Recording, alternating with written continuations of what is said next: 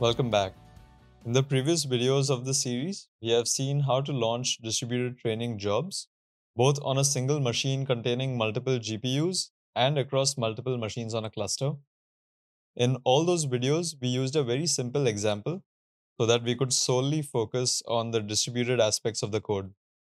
In this video, we'll be using a real world model and train that with DDP. The model I've used here is GPT, which is a large and very powerful language model. I'm using Andrej Karpathy's MinGPT repository on GitHub because his code is very easy to understand and adapt.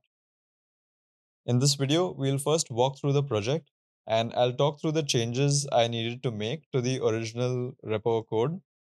And then we'll deploy it first on a single node and then across machines on a cluster. So here's the MinGPT repo again, and I've cloned this on my local machine.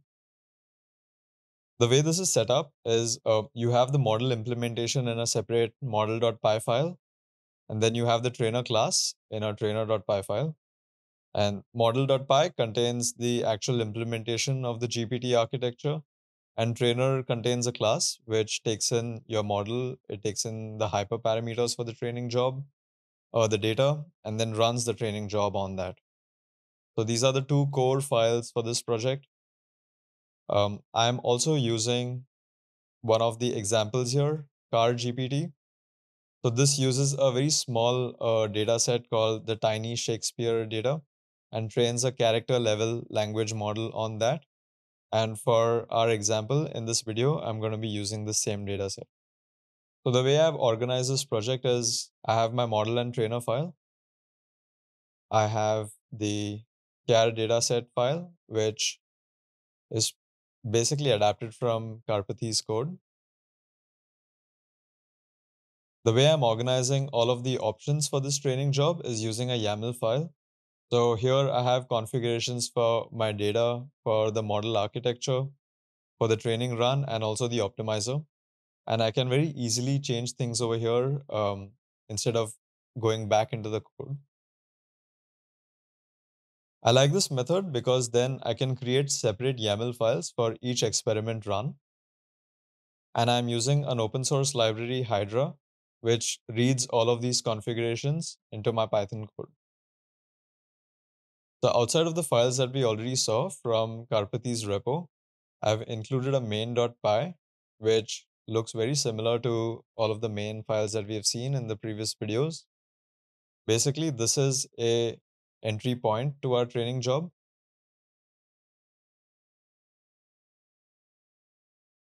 So to recap, we have the model file, which contains the implementation of GPT. We have the char dataset file, which contains the input dataset class.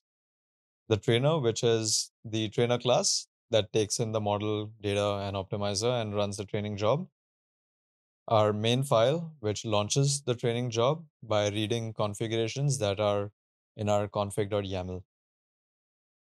Okay, now let's walk through the code and we can start with main.py, which is the entry point to our training job. So this will look very similar to all of the main files we have seen previously. It first starts with setting up the DDP process group. It then reads all of the configurations from our YAML file. And taking these configurations, it's able to initialize the model, um, the optimizer, and the training and test datasets. And once we have all of these ingredients necessary for training, we can initialize a trainer instance and run the training job. And finally, exit cleanly by destroying the process group we created.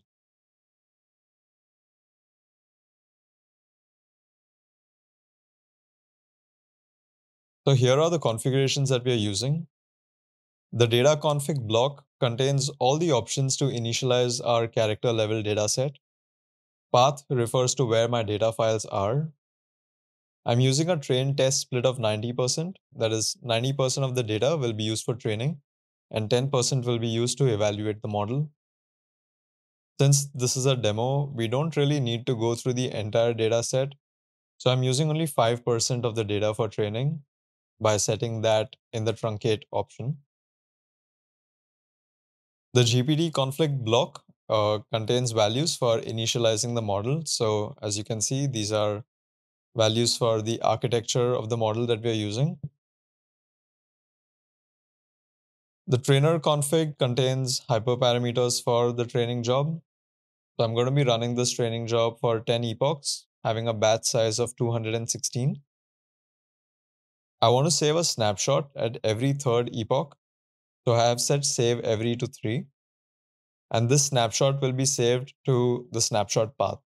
In this case, I'm passing it an S3 URL so that my snapshot is saved directly to the cloud.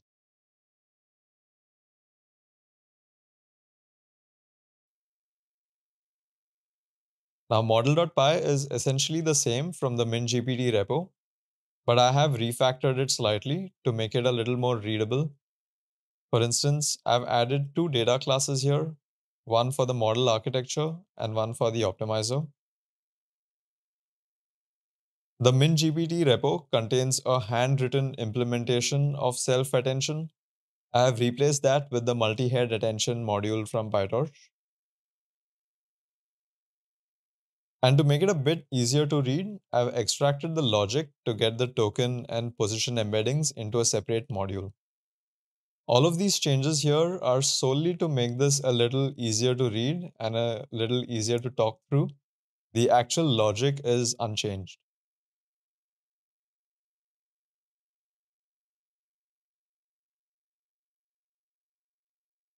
The trainer file has slightly more substantial changes here again, I'm using a data class to store all of our training hyperparameters. While training GPT, I need the snapshot to save the model state as well as the optimizer state. So I define a snapshot data class here, and I've added a function to upload my snapshots to an S3 bucket.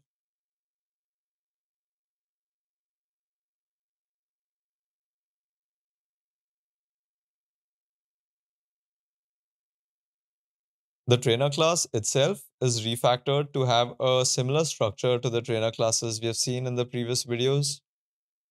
It starts by reading the distributed environment variables set by TorchRun. If a snapshot is available, it will load it and initialize the training state from there. In my case, the snapshot could be either on S3 or on my local disk. So I am using fsspec to handle file IO here because FSSpec offers a single API that is agnostic of where the file actually is. The trainer class has a train method which starts the training run for a max epochs number of iterations.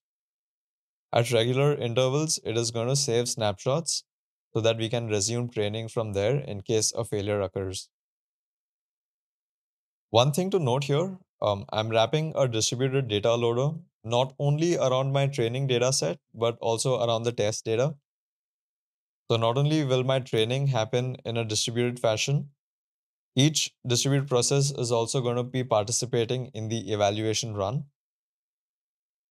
And it is going to run this evaluation on a different subset of the evaluation data. That is, each process is going to be computing the loss, accuracy, and any other metrics concurrently on different data. Here I'm simply printing the eval results from each process, but you can also aggregate them into a single value. Let's try launching this now on a multi-GPU node. I have SSH'd into an AWS P3 instance, which contains four GPUs. And I'm going to launch this training job using TorchRun. If you'd like to learn more about why TorchRun is useful for distributed training, check out my previous video here.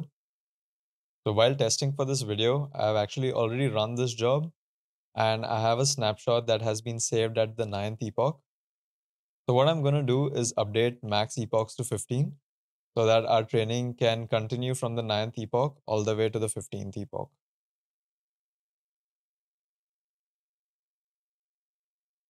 This is a single node setup, so I'll pass the standalone option to TorchRun. This machine has four GPUs and you can see that each process has loaded the snapshot, which was saved at epoch 9. So like I mentioned, we are using a distributed data loader even around our evaluation set. So you can see that each process is evaluating a different subset and printing a different loss value. Now, one option here could be to aggregate all these values and print a single statement, perhaps from the rank 0 process. But here I have chosen to print all four values just to ensure that there is no divergence between them. My save every value is set to 3. So after the 12th training epoch, our trainer has saved a snapshot to the S3 location.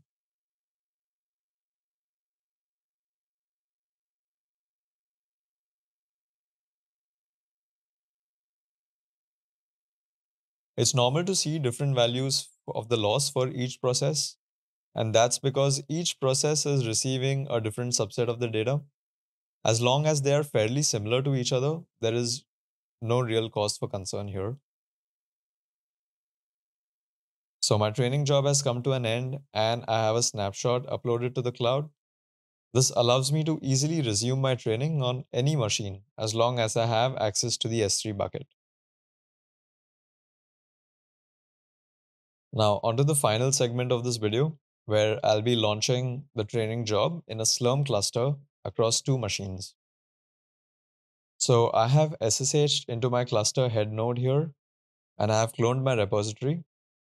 Let's take a look at the Slurm script. I'm running this on two machines, each one having a single GPU. So I have set the nodes and ntasks options to 2. Since I'm using four data loader workers, I'm assigning four CPUs per task. I'm using the same launch script as the one in the previous video. I've gone into more detail about these script options over there. So if you'd like a quick pressure on launching multi-node jobs on Slurm, I recommend you check that out. Before I launch, I'll update our max epochs to 20 since we saved a snapshot at 15, we'll see how it trains for 5 more epochs. So I launched the job on Slurm with SBatch. Once AWS spins up the two Elastic instances of our cluster, our training job should run to completion in just a few minutes. The output looks like everything ran well. I see a snapshot has been saved at 18. It has used a GPU from both machines and resumed training from the snapshot we saved earlier. This time, I haven't truncated the data as much, so the model has run through more than 100 iterations in each epoch.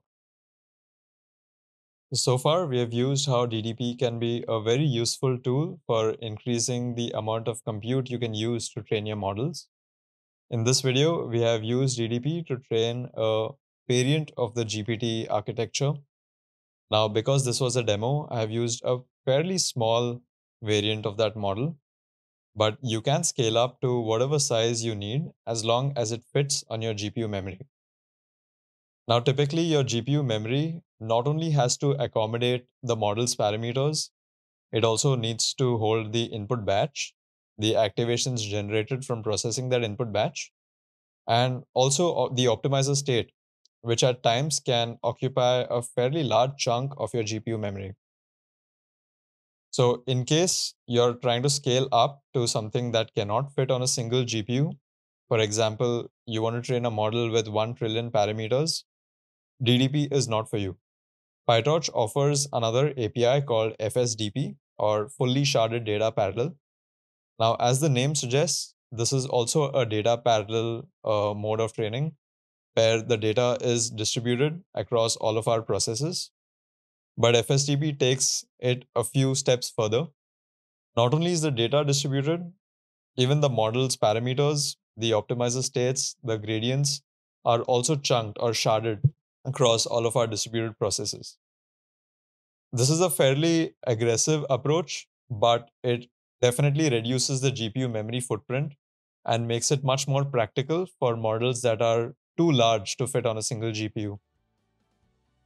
We have some great resources and tutorials on getting started with FSDP, so make sure you check them out on the PyTorch website if that is something you need.